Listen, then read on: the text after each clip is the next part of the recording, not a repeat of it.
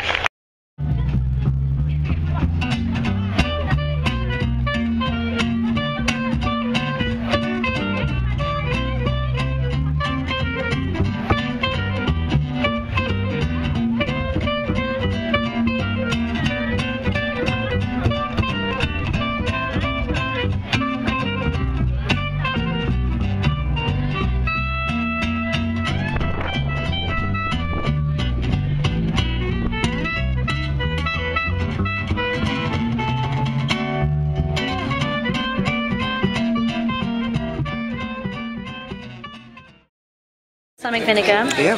wild cherry pistachio, blueberry, raspberry and pink peppercorn, coffee and blossom honey, blackberry and apple brandy, apricot and almond, lavender and vanilla, Kiros, that's blackcurrant and real champagne, lemon verbena and lime, my own candied limes, and we've got elderflower and lemon and rose. Don't overcook fish because when you overcook fish, it tends to the protein tends to go shrink and all the juices come out. And that means all the flavours come out.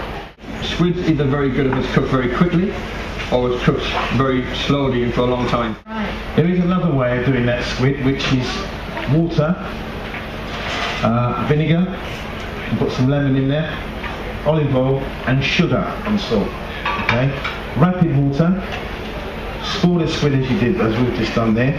You drop that into that hot liquid, and you let it go for about 10 minutes on a on a medium, uh, sorry, on a simmer, very very gently.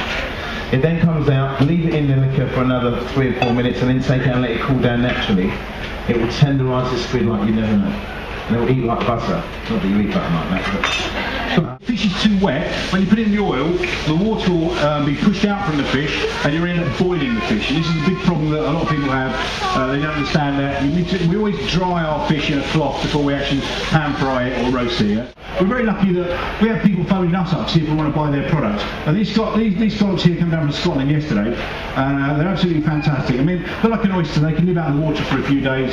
They pack them in uh, polystyrene with uh, seaweed and all the natural things they have around them. They get packed down, they get sent down overnight, and they're arrived with us. lime juice cures the the uh, stone mass. It releases uh, liquid. So if you put a little bit of olive oil on the uh, dish before you serve it, it coats the fish. It stops it from uh, releasing any more liquid. Which is Oh wow, mm. those chilies are nice and hot. So if you have sore throat, you have cold, so you take milk, add turmeric to it, boil it, cook it for five uh, to ten minutes, and drink it. Fantastic remedy. in the old days when we uh, sort of have our own sort of, sort of animals ourselves, and everything would be eaten, wouldn't be nose to tail eating, everything would be used. You know, everything that we get, I know pretty much who's grown it, who's caught it, who's reared it. I'm just going to score the fat on the outside. So when I do seal it off, the temperature penetrates and we start rendering some of the fat out. The fat, of course, is the flavour. Right, one thing, when you clean your scallops, never leave them in water. A scallop is like a sponge. If you leave that in water, soak it in water, it will just absorb all the water. Uh, they grow in size, fine, looks bigger, but it will, when you try to cook it, all the water will be kicked out of it and you'll just be boiling it, and that's a big, big problem, yeah? I cooked two days ago in Selfridges, and people tasted it. Just shit.